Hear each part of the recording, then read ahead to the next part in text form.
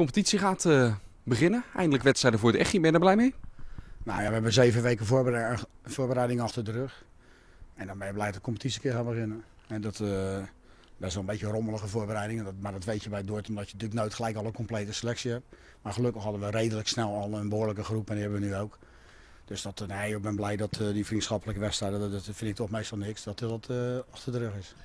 Ben je er wel al uit wat je opstelling betreft? Want die voorbereiding en die vriendschappelijke wedstrijden zijn niet allemaal naar behoren verlopen natuurlijk. Ja, nou, wij zijn er al uit. Het zou natuurlijk raar als ze er nog niet uit zouden zijn. en er moet natuurlijk wel een opstelling op bord komen. Nee hoor, wij zijn er wel uit. Hoe ga je het doen? Nou, gewoon met 11 man. Snap ik, maar met, maar met welke? Ga je dingen aanpassen? Laat ik de vraag concreet stellen, Jan. Ga, ga je... Eh, op de dag van de wedstrijd bekend. Ja. Ik, ik weet uit ervaring, als je nu al iets bekend maakt en je zet jongens op de bank, dat is nu al bekend, uh, en er gebeurt iets onderweg, nou, dan kan je wel eens met spelers te maken hebben die wel minder gemotiveerd zijn. Dus morgen maken wij de opstelling bekend. Laat ik de vraag dan anders stellen. Ga je uh, nog, nog concreet dingen veranderen ten opzichte van het laatste oefenwel waarin wel heel veel misging? Nou ja, we, we, hebben op het middenveld aanpassingen gedaan. Wij vonden het middenveld uh, te weinig power hebben. Dus dat, uh, daar zijn we gaan kijken hoe kunnen we dat verbeteren. Nou, daar hebben we van de week ook op getraind. Ik moet zeggen dat het vrij redelijk ging. Vooral bij balverlies zijn we heel kwetsbaar. Dus je moet wat meer spelers erbij hebben die ook wel eens een keer een bal veroveren. En niet alleen maar uh, schijndruk zetten. We zijn, we, hebben, we zijn hard gaan werken aan de, aan de manier van spelen. Dat, wij zijn hier gewend om één op één te spelen over het hele veld. Dat is hartstikke moeilijk. En zeker met zoveel nieuwe spelers is het heel moeilijk uit te voeren. Het kost ook enorm veel energie.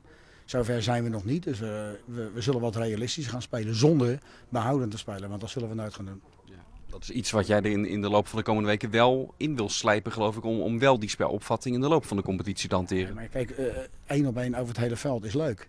Maar dat kan je nooit 90 minuten spelen. Dat zijn momenten dat je dat zoekt. Kijk, we zullen nog steeds bij balverlies snel druk zetten. Ja, dat, is, dat vind ik nog, dat heb ik altijd zelf ook met allemaal andere ploegen gedaan. Ik hou er niet van om 60 meter terug te moeten lopen als je er maar 10 minuten druk hoeft te zetten. Dus dan, dat is puur een, een economische maatregel. Weet je zo? Dat, als je met 10 meter hoeft te lopen, dan ga je er geen 60 lopen. En maar het heeft ook met, met, met spelopvatting te maken. Een tegenstander die heeft naar balverlies nog niet de organisatie staan.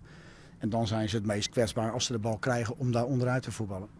En ja, ik, je ziet het ook, we hebben hier tegen Ajax gespeeld, maar ook tegen Feyenoord, de Vitesse uit. Dat zijn toch uitstekende ploegen. En die hadden heel veel moeite met het feit dat we snel druk zetten. Dus dat zullen we blijven doen. Alleen niet een hele wedstrijd en ook niet de pas en de onpas. We zullen wat meer met ons verstand gaan voetballen. Ik vind het heel lastig, uh, uh, zeker nu de competitie nog moet gaan beginnen, om, om, om dan in te schatten wie, wie je waar op de ranglijst kan plaatsen. Of in hoeverre is Eindhoven weer een ploeg, denk jij, die bovenin gaat meedoen en dus gelijk een lastige kluif? Nou, dat zou ik niet weten. Er zijn heel veel spelers kwijtgeraakt ook. belangrijke spelers, hè, naar de Eredivisie en sommigen weg. huurspelers weg. Dus die hebben hetzelfde probleem als wij. Dat ze ook heel veel nieuwe spelers hebben. Die hebben ook een matige voorbereiding gedraaid. wij hebben een hele wisselvallige voorbereiding daar. We speelden tegen RKC uit, vond ik heel goed. En hebben de tweede helft, de winnende wedstrijd, hebben we de hele tweede helft met 10 man gespeeld. Dus dat vond ik al heel knap. Daarna gewoon een aantal matige wedstrijden tegen ja, toch te veel uh, ploegen van een te laag niveau. Dat hebben we niet echt getest. Top Os was ronduit matig, hè, maar zwak. En de afgelopen zaterdag tegen Cercle DZB, wat, ja, je moet niet vergeten, die waren met negen jongens van het prestige elftal gekomen. Dus die zoeken werk. Dus dat was niet zo heel slecht elftal hoor. Dat, uh, maar had je wel moeten winnen. Was ook niet goed. Hè, dat was een beetje los zand.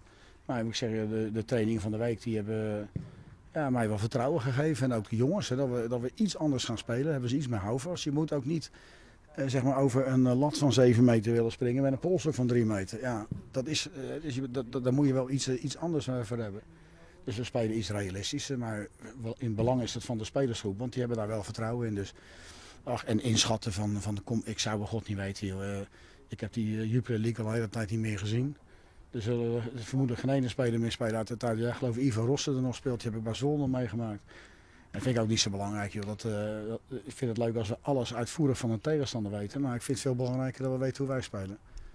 En wat is dan realistisch voor Dordrecht voor aanvang van dit nieuwe seizoen? Linkerrijtje na competitie. Ik denk als we dat halen, dan, hebben we het gewoon heel goed gedaan. Je kan van ons niet verwachten met het kleinste budget dat we even kampioen worden. Kijk, dat zou ik fantastisch vinden natuurlijk. En dat zou voor die spelers zou dat geweldig zijn. Ja, en ik zou het ook zelf wel leuk vinden.